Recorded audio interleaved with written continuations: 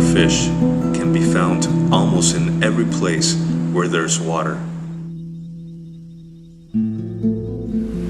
You can find them in cold water mountain creeks to hot stationary rain puddles. They have evolved for millions of years in a vast array of forms, shapes, and colors. Breeding and feeding habits have specialized and diversified to fill every available aquatic niche. Here, you will get to see what their natural habitat really looks like.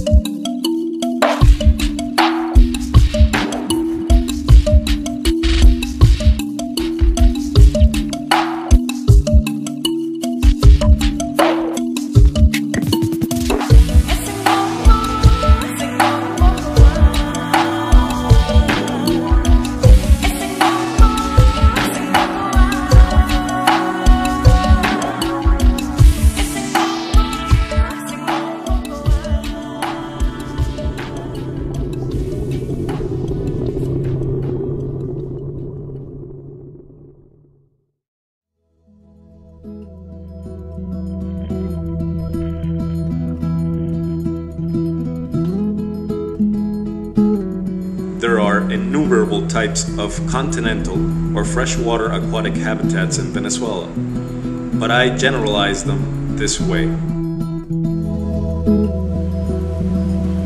Brackish water, lakes and dams, silty rivers, mountain rivers, Tannic rivers, flooded areas, and morichales.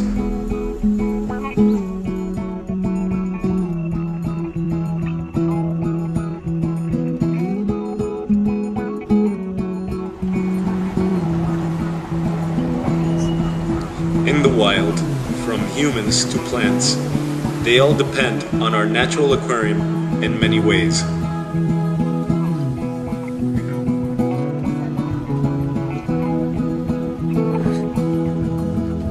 Non-aquatic organisms depend on our natural aquariums for food.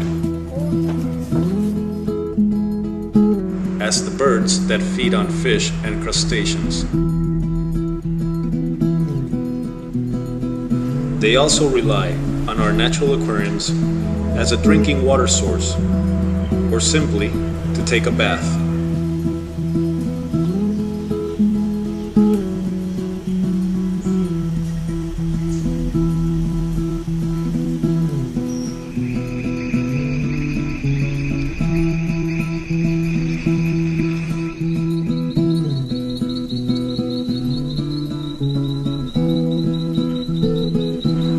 These biotopes, you can find a large amount of aquatic fauna, like the amphibians, which depend on the humidity and water to reproduce.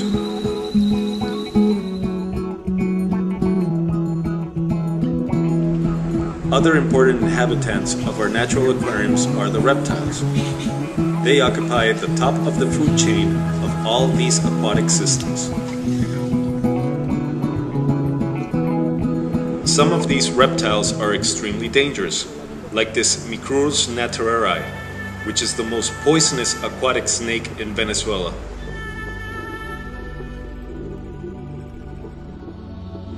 This is probably the first underwater footage of this species in its natural habitat. It can last more than 5 minutes underwater without coming up for air.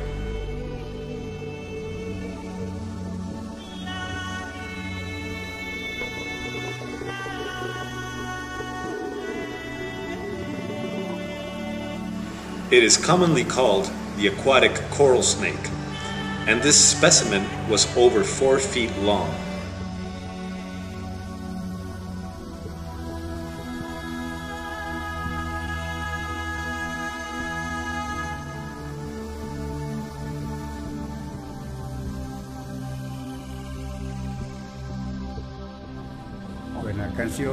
All these reptiles feed on the slowest organisms, which are normally the sick ones, maintaining this way a sickness control in all the aquatic biotopes.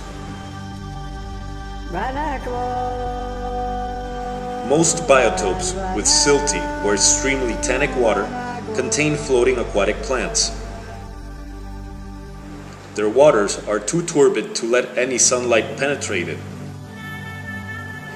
Without sunlight, the subaquatic plants cannot make their natural process of photosynthesis. Many species of fish fixate their eggs to the hanging roots of all these floating plants. In clear water biotopes is where you can observe the subaquatic plants in their maximum splendor.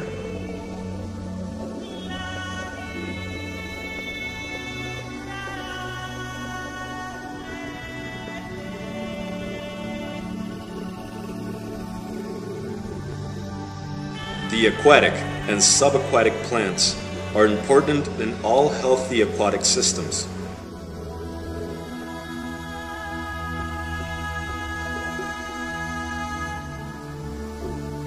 A great number of crustaceans live and reproduce on them, like the freshwater shrimps.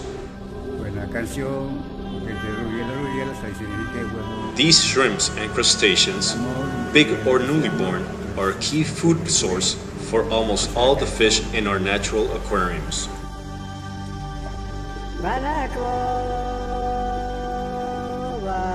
The leaves of the subaquatic plants act like tentacles that trap the organic matter that is dragged by the water current.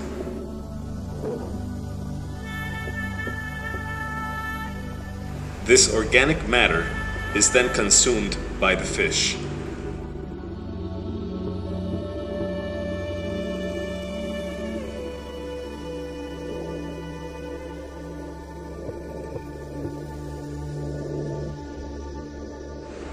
Leaves of the subaquatic plants are also used by the fish to place their eggs. Once the fry are born, they use the large amount of vegetation as a hideout, avoiding this way to be eaten by the bigger fish.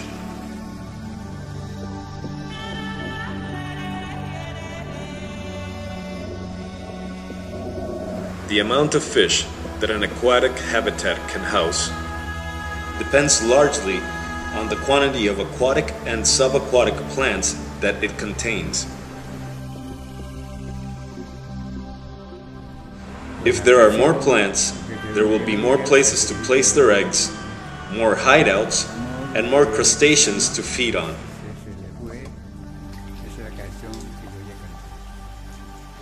In the same way, as all these organisms depend on our natural aquariums, our natural aquariums depend on the seasons.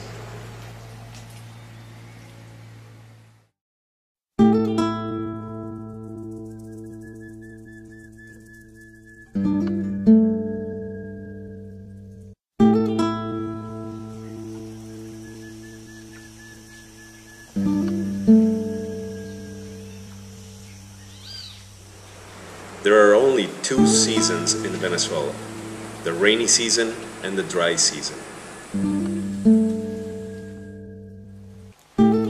We're here in the natural habitat of Corydoras septentrionalis, um, Corydoras aeneus. You got millions of Otocinclus, affinis, and you got a lot of Hoplias. There's a lot of turtles and some crocodiles. There's Apistogramma hoignei, and there's a lot of uh, hatchet fish, the Thoracocharax stellatus. All these little pools, which here are called pozos, are what is left over of all the flooded waters from the rain. When the rains hit this area, all the land around it floods. Once the dry season starts, all the waters the water level goes down and only these little pozos or pools are left behind. All the fish are stuck here. The ones that weren't intelligent enough or the ones that didn't have the instinct to go down the river to the main river are caught in these pools. There's millions of fish here and normally the ones that are left behind are the ones that are that have a high tolerance to low oxygen waters. These waters are very low of oxygen because there's literally millions of little fish here. Um, you can see how they go up and down the cories and the otocinclus that get air probably from the outside, helps them in their digestion. And the Hoplias malabaricus or the wolffish are the are very high tolerant in oxygen, so the, they are left behind too here. In a month or so, these waters are going to turn completely green from the feces of all the, of all the turtles and the reptiles that are here. And it's practically fluorescent green in a month. And in about two months, this place is going to dry out. All the fish in here are going to die.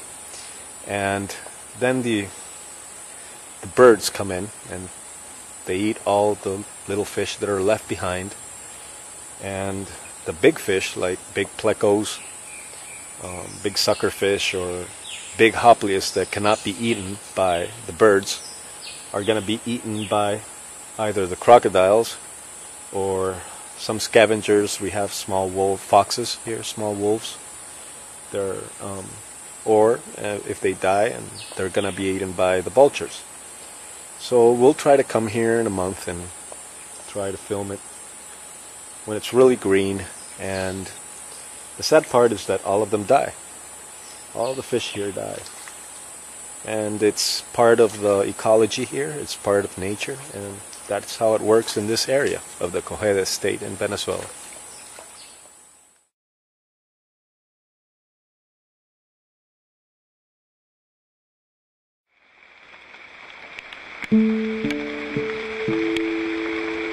From the moment that a raindrop starts its voyage from the clouds down to earth, it begins a very complex process. As the raindrops fall, they capture innumerable molecules and particles that are suspended in the air, as oxygen, pollen, and dust.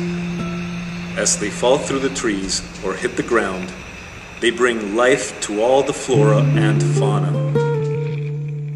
Once on the ground, the rainwater erodes the earth and picks up minerals which alter its chemical parameters.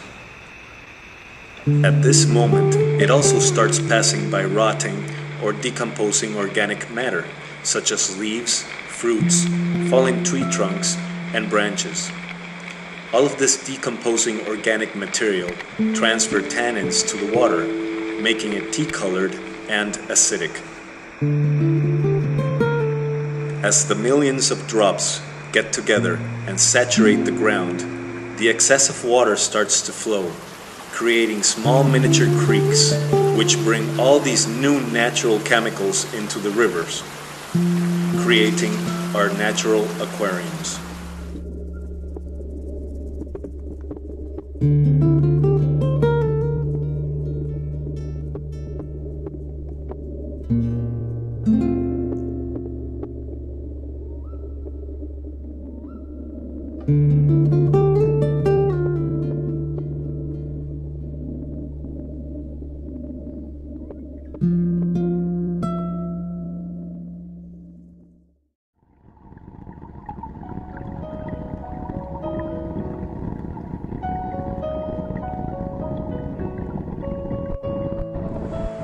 Does much more than fill up the rivers and aquatic habitats with water. It modifies the landscape by eroding it.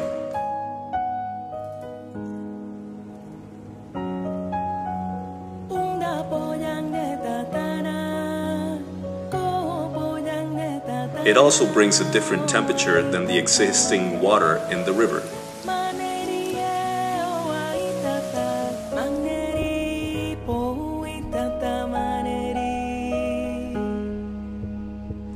All these water parameter changes activate the fish reproductive and migrating instincts.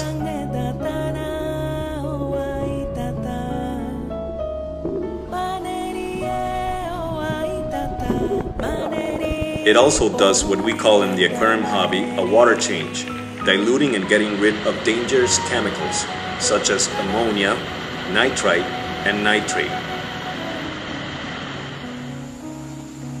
The water parameters of any rivers are greatly influenced by its surrounding land substrate and vegetation.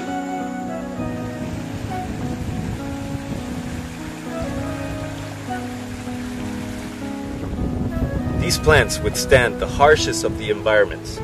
They live right here on these black rocks, which are around 60 degrees Celsius. And they're bone dry in the, in the dry season. And for months, you see how they have been burnt down by fire. And they just withstand these extreme temperatures and these, this harsh environment and they look they look like prehistoric plants. In the dry season, most of these plants burn down and they withstand around six months of drought.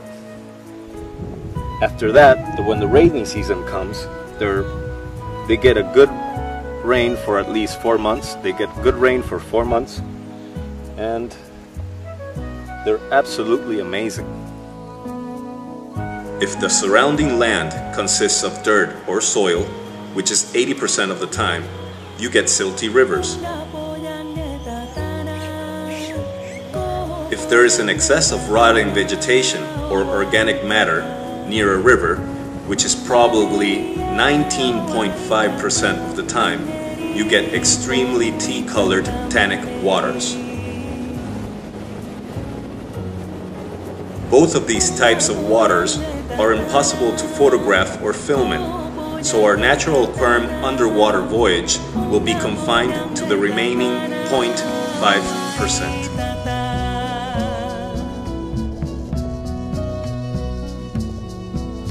The equation is simple. The remaining 0.5% of the rivers have clear waters, and as the statistics show, they are very hard to find.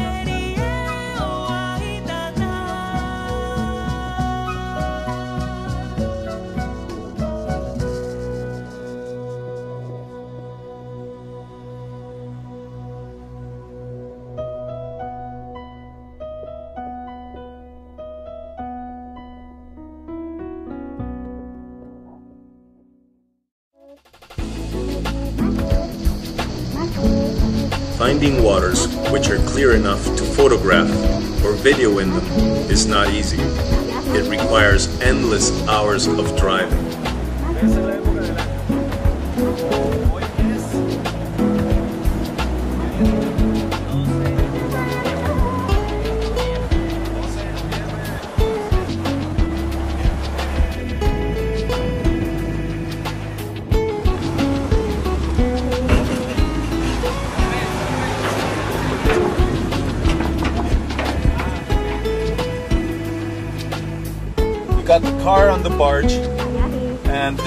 Barge takes us across the Orinoco River, which is the biggest river in Venezuela. The ride is around 10 15 minutes long to the other side, and once on the other side, we're officially in the Amazon state of Venezuela.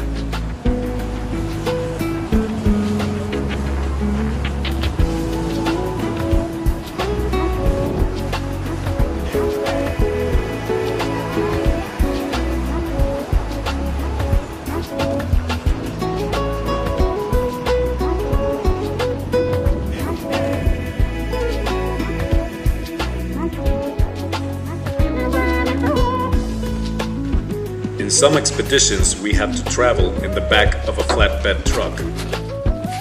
Even though traveling this way is not comfortable at all, it gives you a chance to see how the vegetation changes as you leave the river and go into the jungle.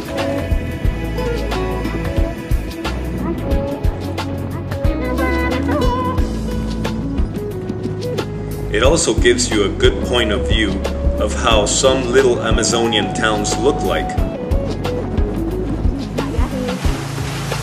Sometimes there is some off-roading involved. And when the road ends, you sometimes have to make one of your own.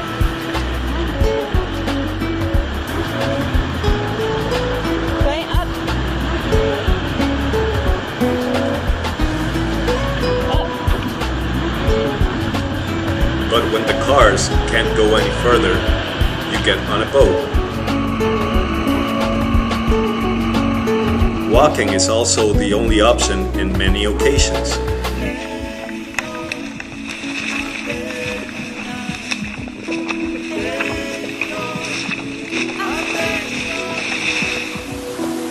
All this driving, off-roading, traveling in a flatbed, or on a boat, or walking, brings you to some extraordinary places with small waterfalls, medium-sized waterfalls, or some that are probably more than 80 meters high. Right here we're filming some sort of catfish. The noise you can hear at the back is a waterfall.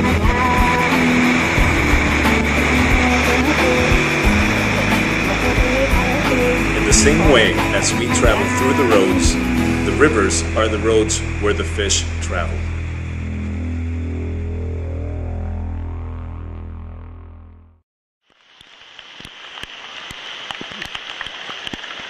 When the rains come to our natural aquariums, the breeding season is in.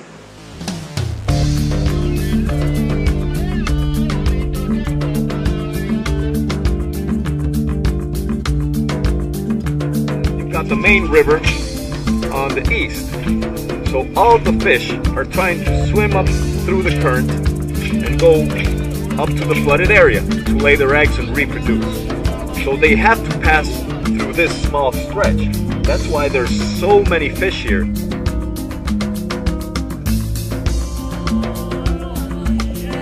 Once the fish get to the reproductive areas, they start courtship. Cichlids are a good example of how all this process takes place.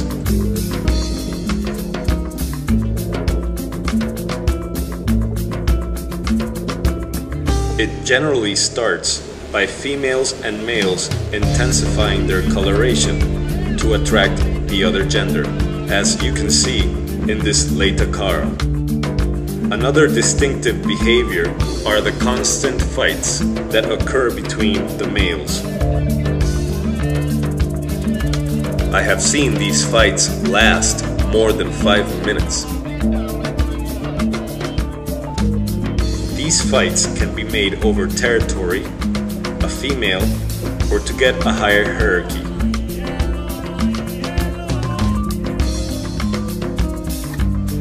Once the fish pair off and mate, the offspring is generally taken care of by both parents, as in the Laetacara, Mesonauta, or the Crenicichla.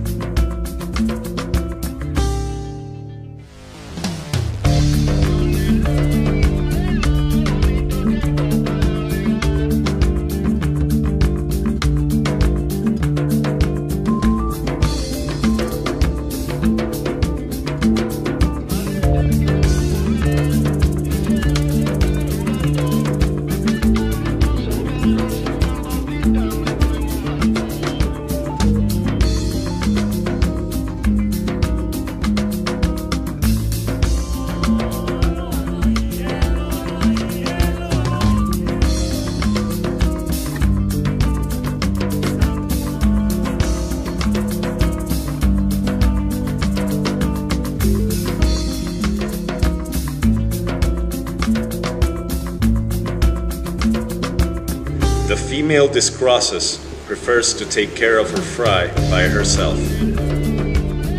She guards her fry from any predator by scaring away any fish that comes six feet from her young, even if the fish are much bigger than her.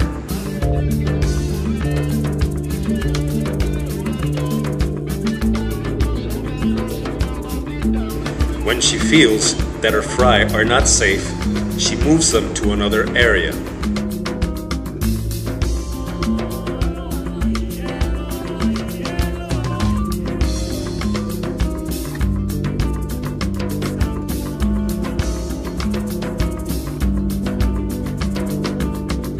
She carries them in her mouth to a new location and makes sure that none are left behind.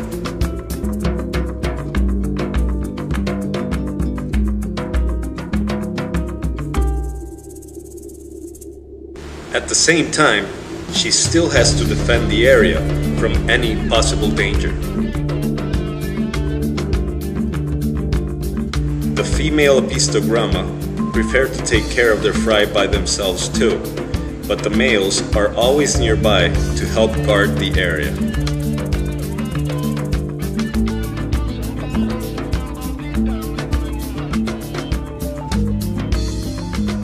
This same behavior can be seen in different species of the same genera, even if they live a thousand miles away from each other, as with the Apistogramma guttata.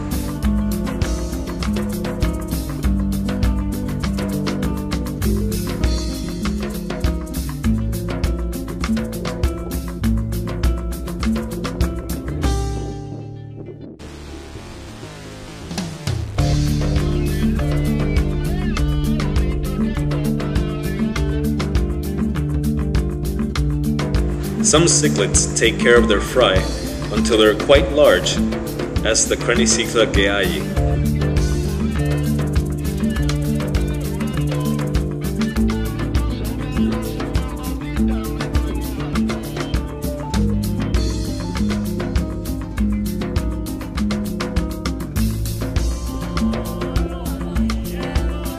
In our natural aquariums, depending on the species, two fish can have from 20 to thousands of offspring.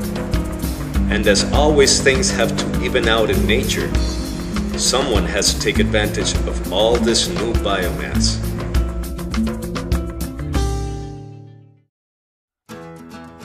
Normally, when you hear about the food chain, you hear how one animal eats another. In the aquarium hobby, you hear how the big fish eats the smaller one. I'm going to explain things in a different way. I'm going to show you the fish that in our natural aquariums normally don't get eaten by any other fish. We just found in this small creek an electrical eel. We're swimming right here with it and it's pretty dangerous.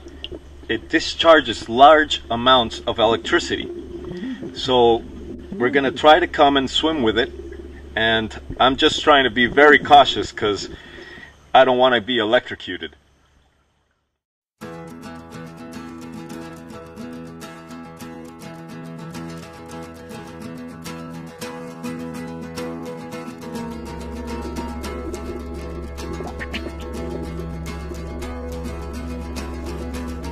Here you can see how the fish set aside as the Electrophorus electricus swims by and then they swim back when they are out of its reach.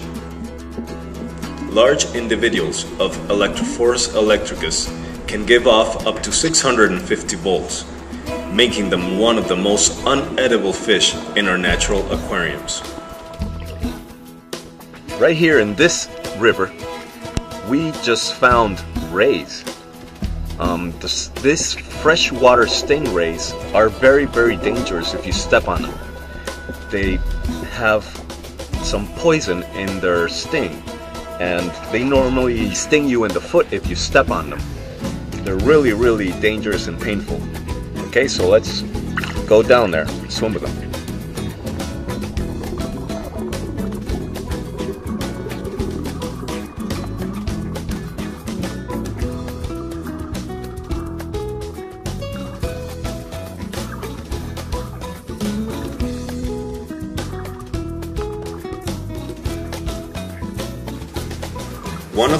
Things that I have seen in our natural aquariums is that if a river has rummy-nosed tetras and rays, the rummy-nosed tetras are always found swimming around them.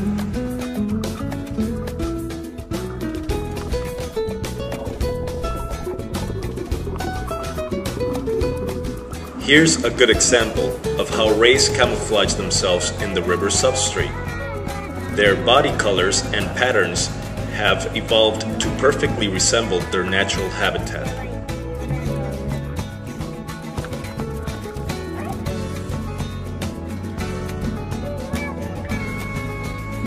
This part of the river was approximately 15 feet deep.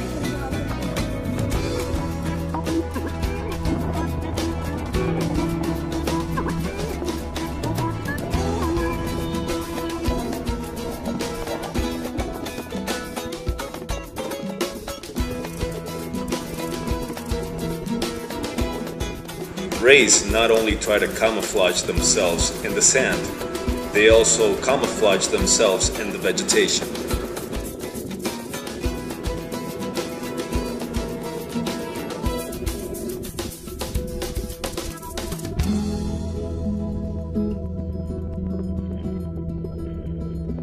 This large ray got very angry when I tried to get a second close-up of its eye and it struck the camera.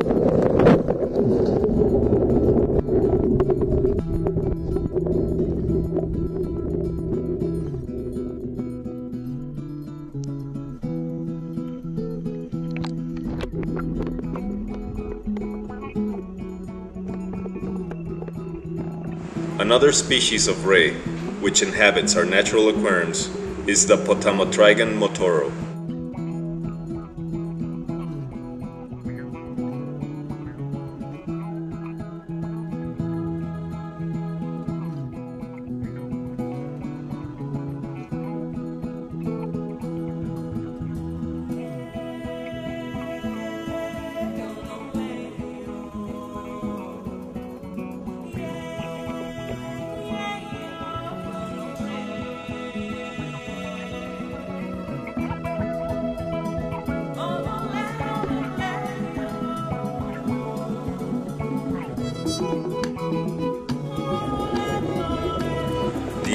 Untouchables are the piranhas of the Pygocentrus Pristobrycon Serrasalmus genera.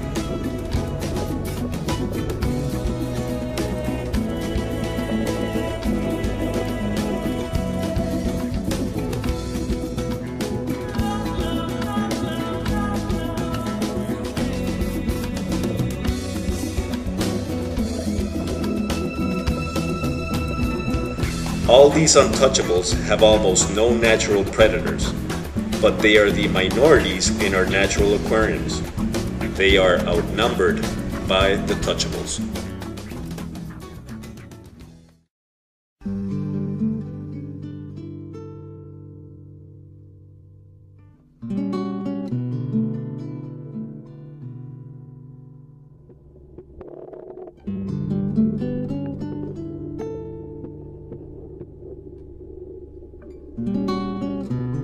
Even though tropical aquarium fish are kept by millions of hobbyists worldwide, little is known of what their natural habitat really looks like.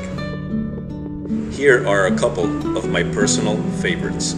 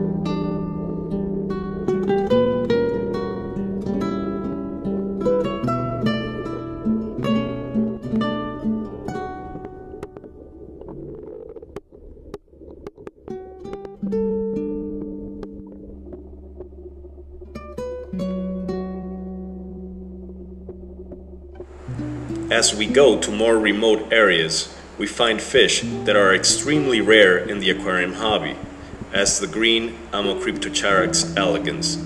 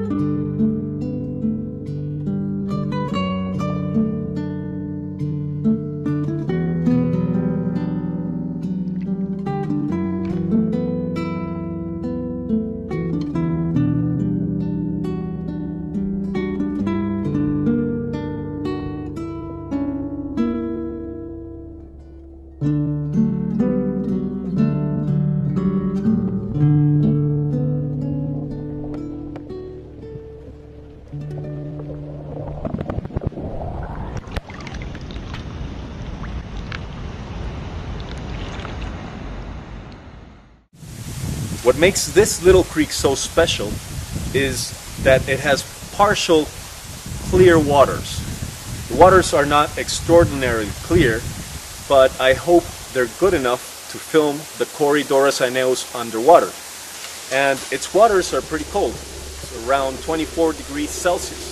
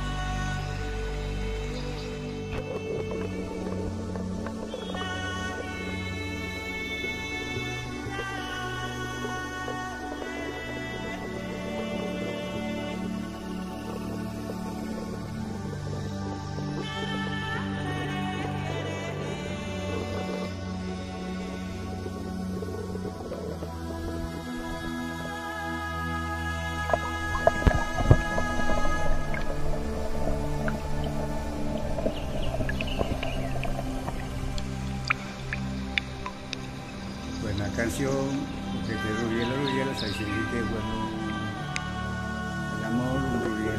In some expeditions, we also find rare aquatic plants with unusual coloration.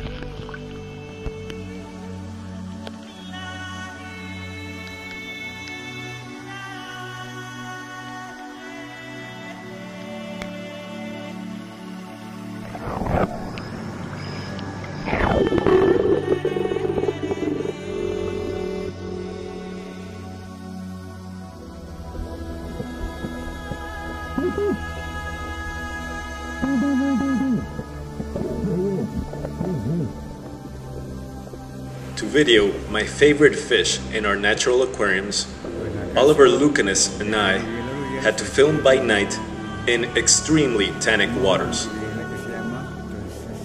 This fish has partially disappeared from all the clear water streams by uncontrolled collecting and river water poisoning done by the natives to fish. And here it is.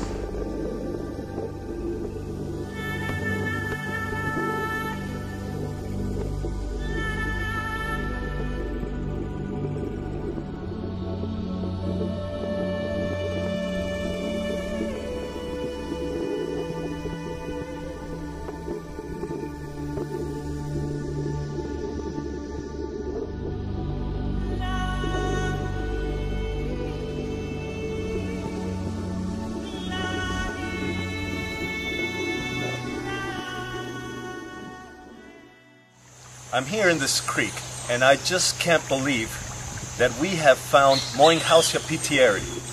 And the water is crystal clear, around 24 degrees Celsius, and it's the only place where you can find diamond tetras or Moenkhausia pittieri in their natural habitat.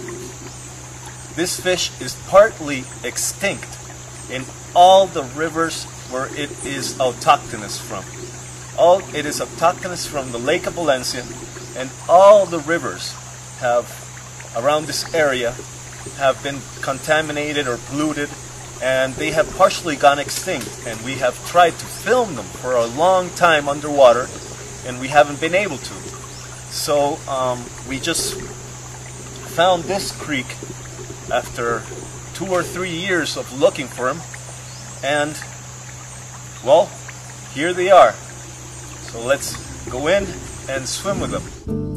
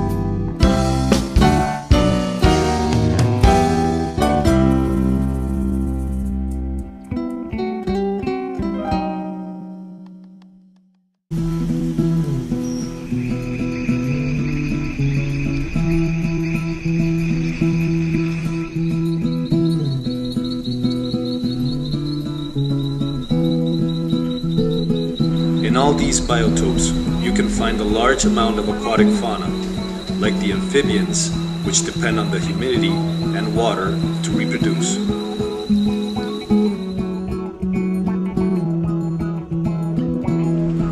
Other important inhabitants of our natural aquariums are the reptiles. They occupy the top of the food chain of all these aquatic systems.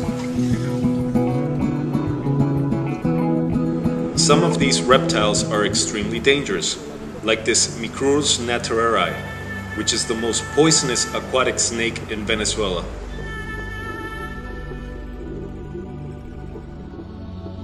This is probably the first underwater footage of this species in its natural habitat.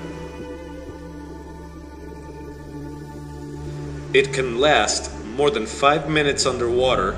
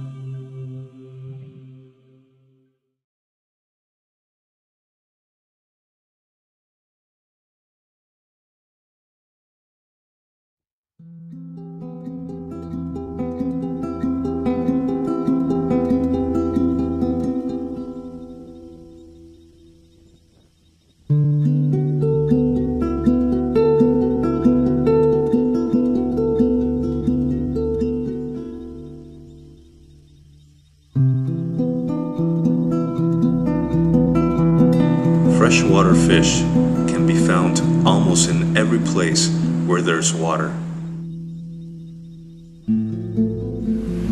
You can find them in cold water mountain creeks to hot stationary rain puddles. They have evolved for millions of years in a vast array of forms, shapes, and colors.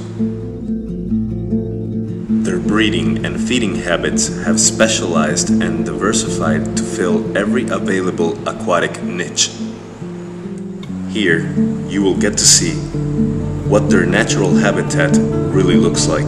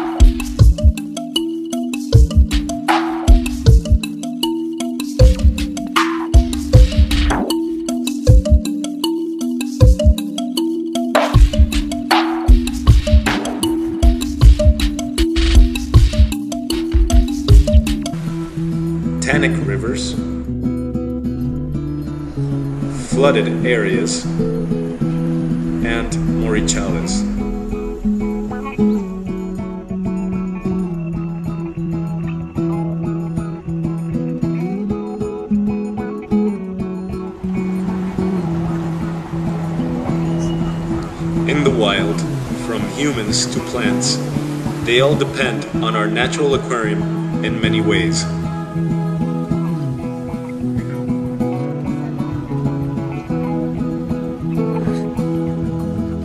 Non-aquatic organisms depend on our natural aquariums for food. As the birds that feed on fish and crustaceans. They also rely on our natural aquariums as a drinking water source or simply to take a bath.